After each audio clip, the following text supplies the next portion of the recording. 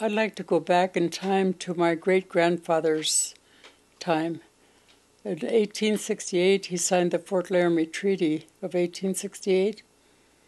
And from that time on, he had to live out his life on the northeast corner of our reservation. And then they could no longer hunt and feed their families with their tioshpai. And if he left the reservation without a, a written pass, he would have been shot as a hostile. So he had to live in the northeast corner of our reservation and provide for his family. But the federal government then gave them rations. And so he had to stand in line to get rations for his family, his tioshpai.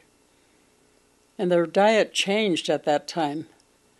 And I, I believe that they were healthy people before that. They were active, they were hunters, gatherers, and then when they were confined to the area where they lived, they could no longer hunt and do for their families like they used to do.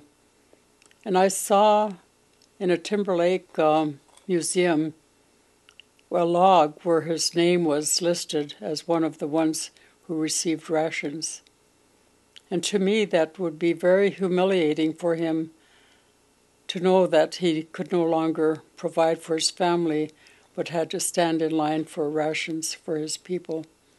And their diet changed at that time. It became different. And I attribute that to the onset of uh, diabetes that we have today.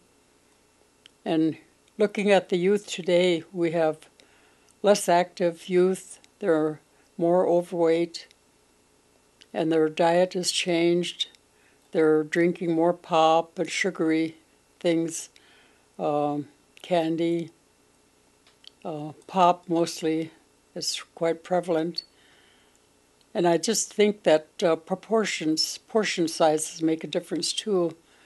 So I think all of that contributes to our youth diabetes and uh, diabetes in the adults as well.